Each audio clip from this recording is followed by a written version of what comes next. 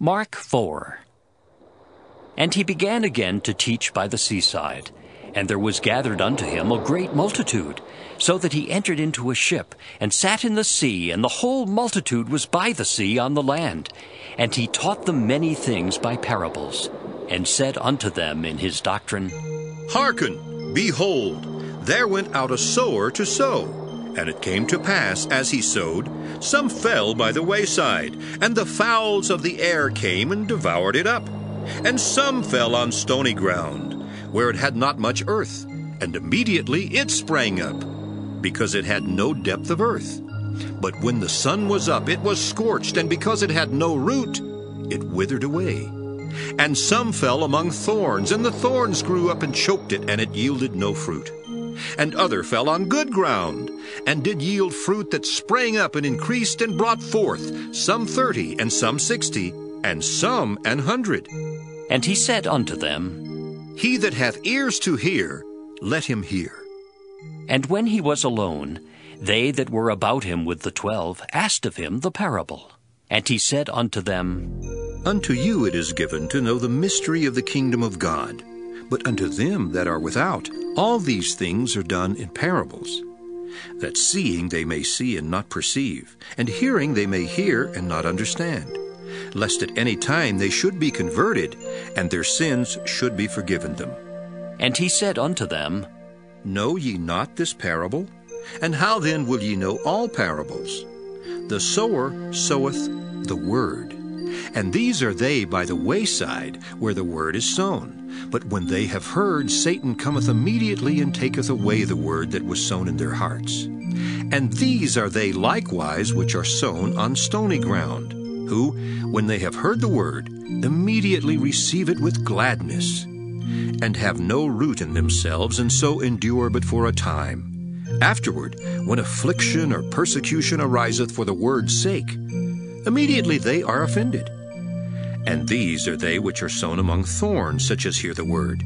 And the cares of this world, and the deceitfulness of riches, and the lusts of other things entering in, choke the word, and it becometh unfruitful.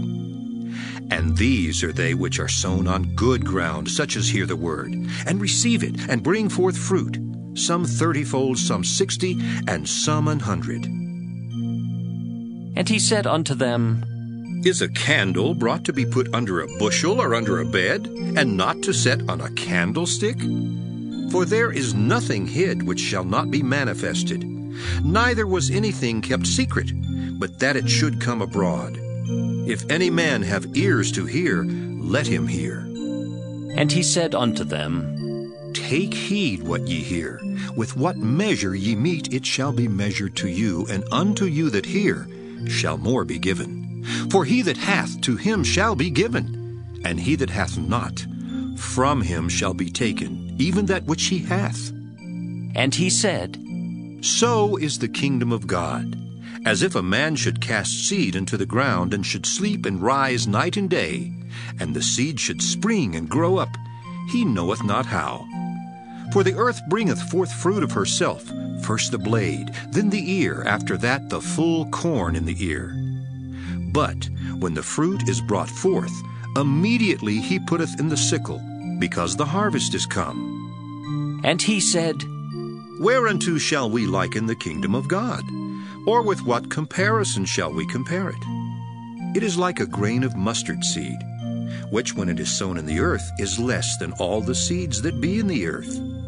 But when it is sown, it groweth up, and becometh greater than all herbs, and shooteth out great branches, so that the fowls of the air may lodge under the shadow of it.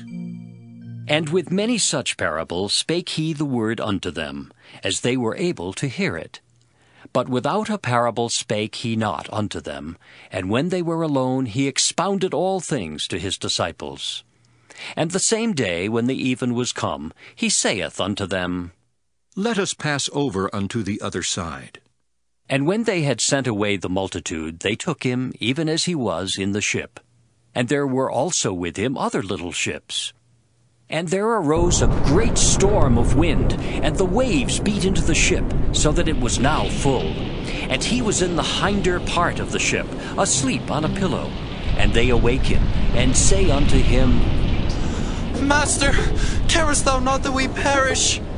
And he arose and rebuked the wind and said unto the sea, Peace! Be still. And the wind ceased, and there was a great calm. And he said unto them, Why are ye so fearful? How is it that ye have no faith? And they feared exceedingly, and said one to another, What manner of man is this, that even the wind and the sea obey him? Mark 5 And they came over unto the other side of the sea, into the country of the Gadarenes. And when he was come out of the ship, immediately there met him out of the tombs a man with an unclean spirit, who had his dwelling among the tombs, and no man could bind him, no, not with chains, because that he had been often bound with fetters and chains, and the chains had been plucked asunder by him, and the fetters broken in pieces. Neither could any man tame him. And always, night and day, he was in the mountains and in the tombs, crying and cutting himself with stones. But when he saw Jesus afar off, he ran and worshipped him, and cried with a loud voice and said, What have I to do with thee, Jesus, thou Son of the Most High God? I adjure thee, my God, that thou torment me not. For he said unto him, Come out of the man, thou unclean spirit. And he asked him, What is thy name? And he answered, saying, My name is Legion, for we are many. And he besought him much that he would not send them away out of the country. Now there was there nigh unto the mountains a great herd of swine feeding. And all the devils besought him, saying, Send us into the swine, that we may enter into them. And forthwith Jesus gave them leave. And the unclean spirits went out and entered into the swine, and the herd ran violently down a steep place into the sea. They were about two thousand, and were choked in the sea. And they that fed the swine fled, and told it in the city and in the country. And they went out to see what it was that was done. And they come to Jesus, and see him that was possessed with the devil, and had the legion, sitting and clothed and in his right mind, and they were afraid. And they that saw it told them how it befell to him that was possessed with the devil, and also concerning the swine. And they began to pray him to depart out of their coasts.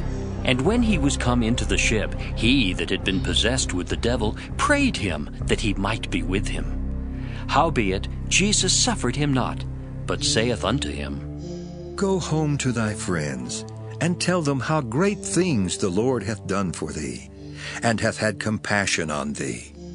And he departed, and began to publish in Decapolis how great things Jesus had done for him, and all men did marvel. And when Jesus was passed over again by ship unto the other side, much people gathered unto him, and he was nigh unto the sea. And behold, there cometh one of the rulers of the synagogue, Jairus by name, and when he saw him, he fell at his feet, and besought him greatly, saying, My little daughter lieth at the point of death. I pray thee, come and lay thy hands on her, that she may be healed, and she shall live. And Jesus went with him, and much people followed him, and thronged him. And a certain woman which had an issue of blood twelve years, and had suffered many things of many physicians, and had spent all that she had, and was nothing bettered, but rather grew worse. When she had heard of Jesus, came in the press behind, and touched his garment, for she said, If I may touch but his clothes, I shall be whole. And straightway the fountain of her blood was dried up, and she felt in her body that she was healed of that plague. And Jesus, immediately knowing in himself that virtue had gone out of him, turned him about in the press, and said, Who touched my clothes? And his disciples said unto him, Thou seest the multitude thronging thee, and sayest thou, Who touched me? And he looked round about to see her that had done this thing.